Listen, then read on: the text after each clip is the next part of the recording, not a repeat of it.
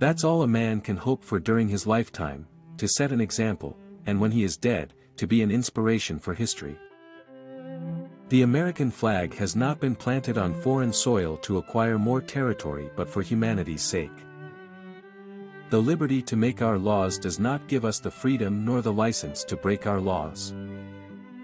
Strong hearts and helpful hands are needed, and, fortunately, we have them in every part of our beloved country. War should never be entered upon until every agency of peace has failed. The path of progress is seldom smooth. New things are often found hard to do. Our fathers found them so. We find them so. But are we not made better for the effort and scarifice?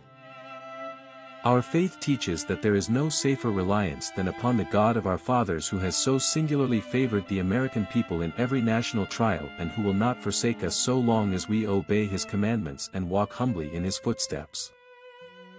I do not prize the word cheap. It is not a word of inspiration. It is the badge of poverty, the signal of distress. Cheap merchandise means cheap men and cheap men mean a cheap country.